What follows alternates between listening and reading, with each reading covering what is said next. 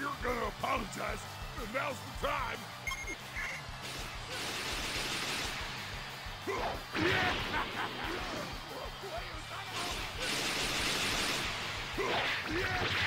Tim,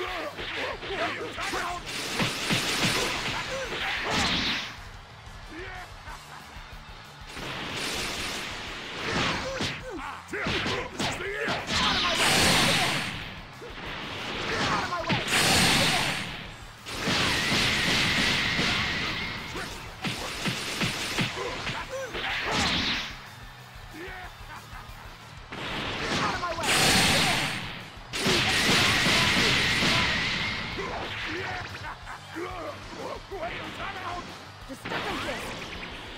Tim,